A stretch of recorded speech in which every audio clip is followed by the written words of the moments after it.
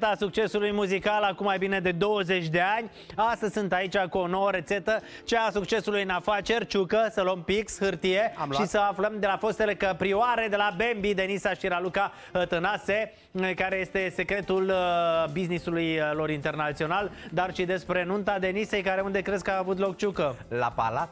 Unde? La castel, bă băiatule, nu la palat. La castel și nu oriunde. În Franța. Hai că vedem imediat. Stai să le poftim pe fete.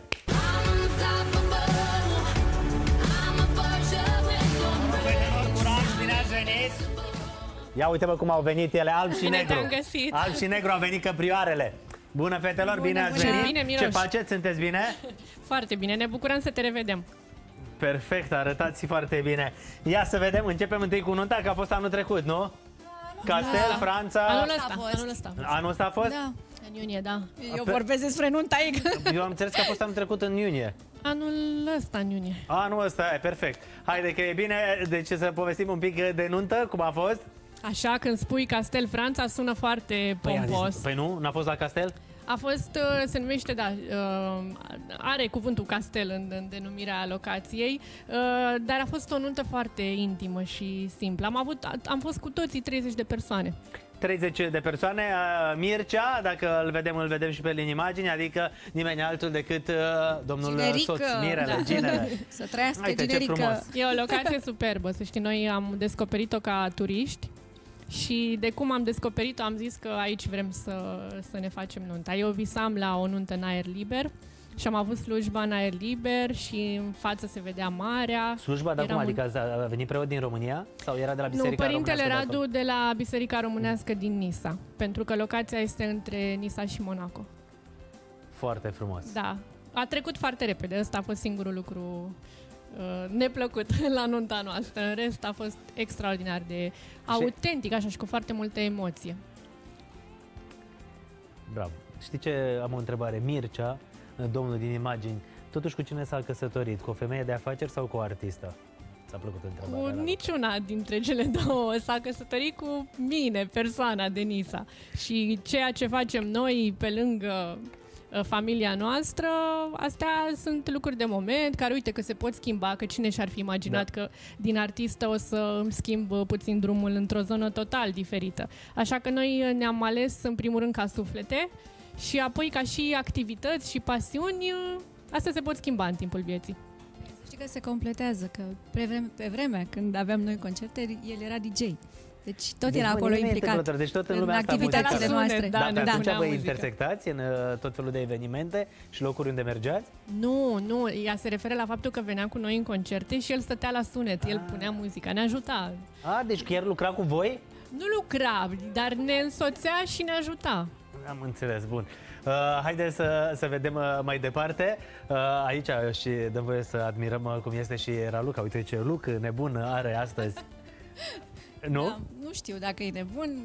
Cred că m-am mai liniștit așa. Sunt foarte mult pe, pe stilul ăsta simplu.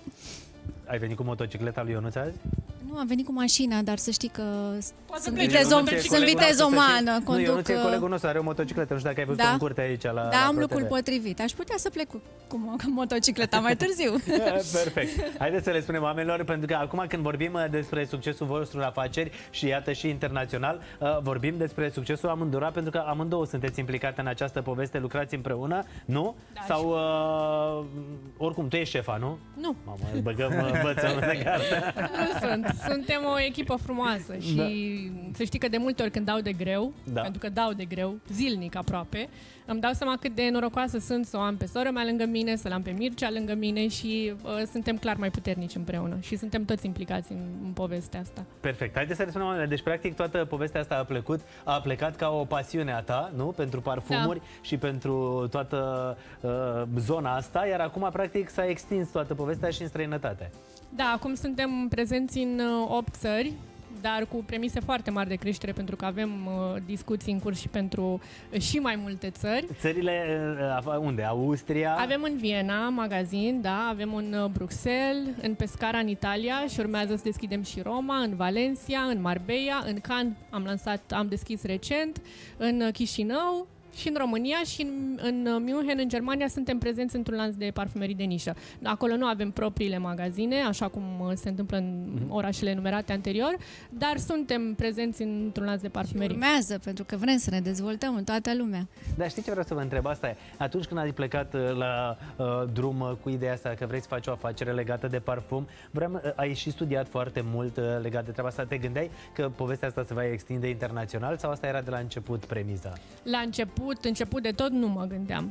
Apoi când mi-am dat seama că aducem niște lucruri noi, că e greu în 2021 să mai vii cu Să mai noutăți, inventezi apa dar caldă. noi, da, noi am reușit să aducem niște elemente noi pe piață, de la uh, concentrațiile parfumurilor, uh, ideea asta de uleiuri de parfum pe care le găsești foarte ușor în țările arabe, dar uh, greu spre deloc în uh, țările europene. Și atunci când mi-am dat seama că noi chiar putem să venim cu niște factori diferențiatori, uh, să știi că noi când am început toată povestea asta, um, noi ne desfășuram activitatea din mansarda uh, centrului lui Mircea, de acolo din Dorobanț. unde Și mai știu mult că ați venit singură, și pentru voi. că eu nu credeam în pasiunea asta ei, eu eram foarte, foarte implicată în Și ceea ce făceam noi și Din ea... contră, îmi reproșau Da. și ea și mama că neglijez muzica pentru nebunia asta ce-o fi în capul tău, ce, Hai, ce mamă, vrei termină să odată cu faci. prostia asta. Da. Treceți înapoi la muzică, nu? Exact. Și nu aveam niciun angajat, pentru că 8 luni de zile nu am avut niciun angajat și m, am învățat tot ce înseamnă businessul ăsta, practic, uh, de la A la Z, de la uh, dat comenzi către furnizor, relația cu clienții, făcut când- AVB-uri, trimis colete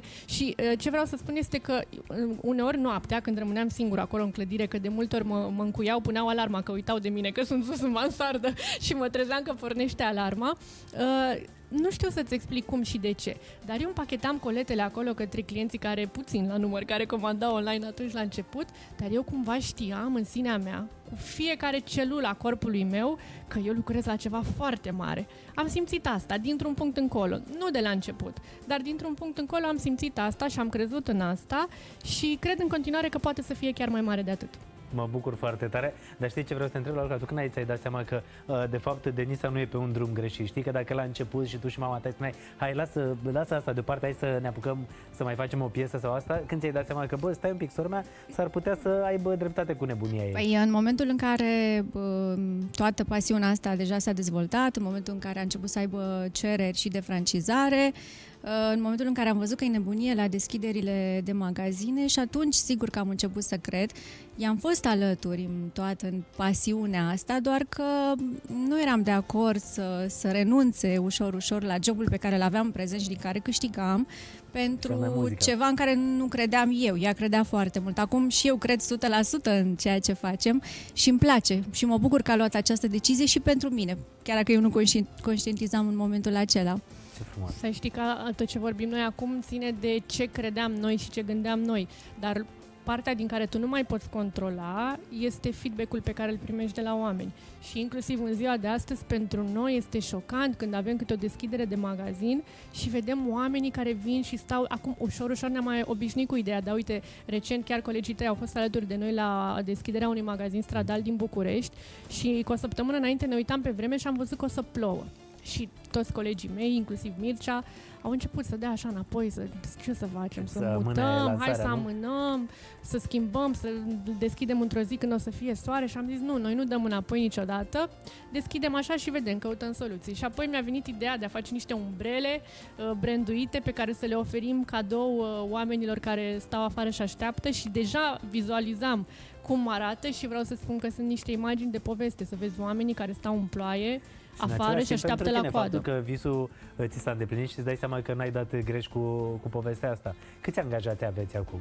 42 uh, ai noștri, dar uh, când vorbim de uh, dimensiunea brandului, atunci trebuie să luăm în calcul și celelalte locații, pentru că sunt foarte multe francize, 8 locații sunt ale noastre, restul până la 42 sunt francize și fiecare franciză reprezintă o altă entitate juridică cu proprii angajați și... Uh, uh, Propriul sistem. Dar uh, pandemia v-a afectat în perioada asta? nu știu să spun dacă ne-a afectat sau ne-a ajutat. Mhm. Uh, sunt, uh, știi că... Pentru că sunt business-uri care în pandemie au explodat și au pornit uh, mult mai bine și Da. uh, business-uri care, din păcate, s-au închis. Sunt clar uh, momente pe care ai două variante. Stai și te plângi sau îți dai seama cam ce se poate specula. Iar noi am, ne-am dat seama de potențialul pe care pandemia îl poate aduce pe partea de expansiune, pentru că acum trei ani, dacă voiam să intrăm într-un mall, trebuia să așteptăm foarte mult, să găsim un spațiu. Și atunci, că pentru noi pandemia a venit cu uh, această șansă Deschidere. de dezvoltare, da, și de expansiune și de spații pe care nu le puteam accesa altfel. Uh, sigur că suntem afectați și acum când traficul în centrele comerciale a scăzut, redus. dar per total noi suntem pe creștere și vrem să ne concentrăm mai mult uh, pe creștere și vrem să ne, să ne focusăm mai mult pe soluțiile pe care putem să le găsim și pe cum putem să ne adaptăm. De exemplu, am, uh, am început un concept de Beauty Express, care sunt celebrele, clasicele automate, unde ne ducem și ne luăm apă, biscuit Da. sau ce vrem noi să ne luăm. Uh, noi ne-am gândit să le aducem un pic în zona de beauty și să le oferim oamenilor posibilitatea de a accesa mai ușor produsele lor preferate, chiar dacă nu pot intra Hai că ți fizic iei un într-un ruj, un uh, demachiant, un ceva repede. Da. Cert este că la noi nu există, nu pot.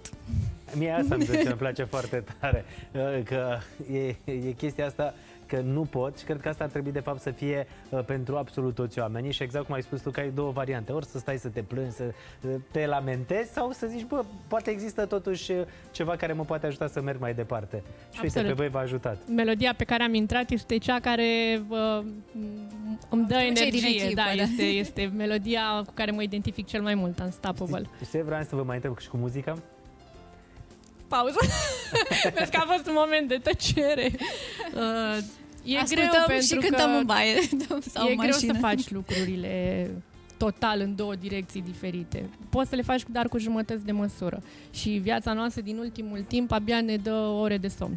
Dar ne întâlnim cu colegii noștri la deschiderile magazinelor, atunci când avem tot felul de campanii, păstrăm legătura cu ei și uh, ne e drag. Ne e drag de lumea asta, dar deocamdată ne simțim foarte bine în ceea ce facem în Ați prezent. făcut uh, primul milion uh, de dolari, cum se zice, în uh, business? Firma sau noi? Firma. Nu, voi, nu firma, firma. Noi nu. Normal că a făcut la atâtea magazine și tot.